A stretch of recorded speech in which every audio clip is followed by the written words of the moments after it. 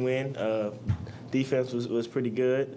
Moved the ball well. Um, and I think everybody competed hard. Everybody who played uh, tonight, everybody who stepped on the court, competed at a high level.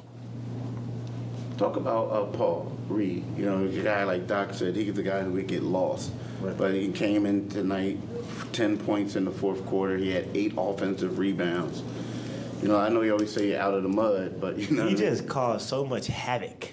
Like sometimes, like you don't know like what he's doing, but he just like running around and he's like playing so like, with so much energy that uh, the other team sometimes can't keep up. And it's like um, what he does the energy that he's bringing when he's rolling, when he's offensive rebounding, when he's blocking shots, getting steals, being disruptive on the defensive end. Uh, he was good tonight, and uh, you know I'm proud of him because, you know, like you said, he can't get lost, and um, sometimes that um, you know it's hard when you don't play a couple games in a row. But to be out to go out there and uh, be ready as soon as your number is called was big. Matisse had six steals tonight. Where did you guys feel him most? That's ridiculous. At, at this point, I think they would just pass it to him.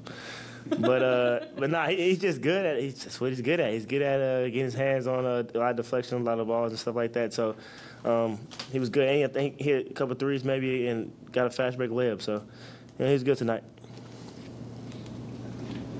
All right, thanks, Tyrese.